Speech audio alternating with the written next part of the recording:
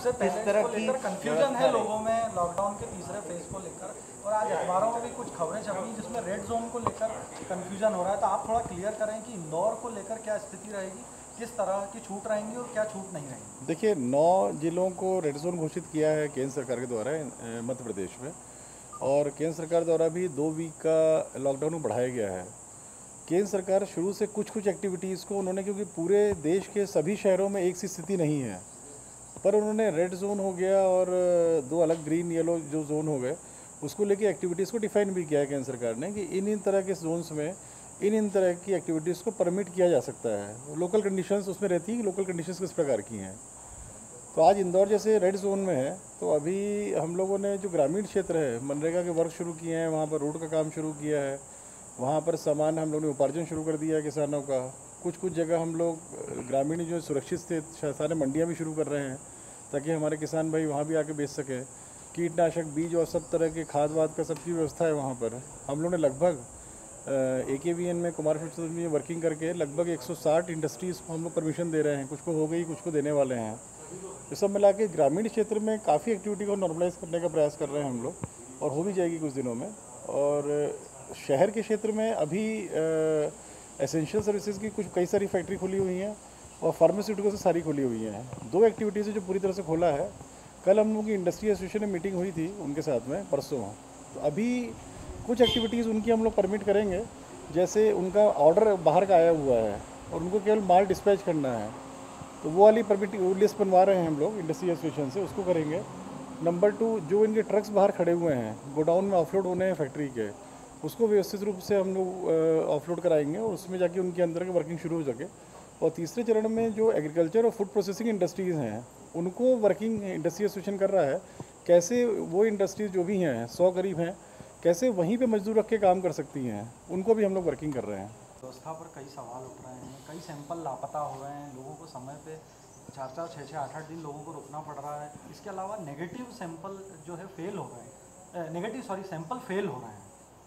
अच्छी खासी संख्या उनकी निकल कर आ रही है, जो सैंपल फेल हो रहे हैं। इसके पीछे क्या वजह देखिए सैंपल गायब तो नहीं हो रहे हैं, वो भी मैं आप लोगों से अनुरोध करूँगा कि एक जो देव कुंडल जी का सैंपल था, उसको लेके ये सब बातें करी गई हैं। थोड़ा संयम रखना पड़ेगा मीडिया को भी कि कोई भी, कुछ भी बात ना करे। और ये सैंपल मेरे ख्याल से उनका जो सैंपल मेरी बात हुई थी वहाँ मेडिकल कॉलेज डीन से तो जो बात सामने आई थी कि वो सैंपल गया हुआ है अहमदाबाद, और मेरे ख्याल से शाम तक, रात तक आना चाहिए।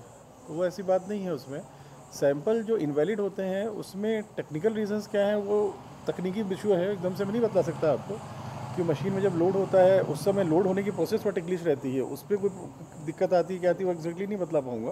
पर सैंपल कोई गायब नहीं हो रहे हैं कोई। मैं इसमें अपने मीडिया के साथियों को बोलूँगा कि रिस्ट्रेन रखें थोड़ा इस तरह कमेंट्स करने के लिए, क्योंकि इससे आम जनता में भ्रम की स्थिति निर्मित होती है। तो उनका जो देवकुंडल के लेकर के जो एक इशू रेज हुआ कंफर्टेबली हैं वाटर लिली में। पहले वो इंडेक्स गए थे और वहाँ से फिर उनका और स्थिति ठीक होगी तो उनको हमने centre Covid care centre water lily में रखा। वहाँ बहुत ही कंफर्टेबल पोजीशन है उनकी। और सैंपल टेस्ट जो मैंने डीन से पता किया था तो उसमें शायद शाम तक उनकी रिज़ल्ट आने की संभावना है। कुछ सुझाव भी दिए हैं और आ, कुछ चिकित्सा केंद्र जो हमारी जो प्राथमिक सेवा केंद्र है उनमें व्यवस्थाएँ बढ़ाने की बात करें देखिए, शुरुआत में जब मैं आया था यहाँ पर तो बहुत जगह के डॉक्टर्स यहाँ बुला लिए गए थे, जो मेरे ख्याल से मैं, मेरे को सही नहीं लगा वो। फिर धीरे धीरे करके हम लोगों ने महू के सारे डॉक्टर वापस किए। कुछ अब देपालपुर के डॉक्टर्स यहाँ हैं दो तीन डॉक्टर सावेर के भी हैं। इन डॉक्टर्स को भी वर्किंग कर रहा हूँ कि जो ऑलरेडी हमारे यहाँ डॉक्टर वर्क कर रहे हैं इंदौर में, संख्या कम नहीं है वो। उनको किस प्रकार से उनका बेस्ट यूटिलाइजेशन करना है उनका? उसी वर्किंग में हम लोग को ये जानकारी मिली कि आठ नौ दस करीब डॉक्टर्स कार्य नहीं कर रहे हैं। तो उनको, उनकी तनख्वाह रोकने की, उनको शोकाज नोटिस देने की और एक शेखावत करके कोई हैं, मैडम, उनका इनिशियल नाम नहीं मालूम डॉक्टर शेखावत नंदा नगर में है, उन्हें खिलाफ डिपार्टमेंटल इंक्वायरी ऑर्डर की है। तो अगर हमारे यहाँ जो स्ट्रेंथ है डॉक्टर्स की, उसमें से अगर सभी लोगों का बेस्ट यूटिलाइजेशन हम, बाकी सब काम कर रहे हैं डॉक्टर्स हमारे यहाँ, सरकारी डॉक्टर्स जितने भी हैं, पर उनका बेस्ट यूटिलाइजेशन कर रहे हैं ताकि ये ग्रामीण क्षेत्र के जितने डॉक्टर्स हैं, इनको हम फ्री कर सकें ग्रामीण क्षेत्रों के लिए। और यहाँ पर भी जो माननीय मंत्री जी ने बोला है, जो संजीवनी केंद्र जो चल रहे थे, उनको हम रिवाइव कर सकें।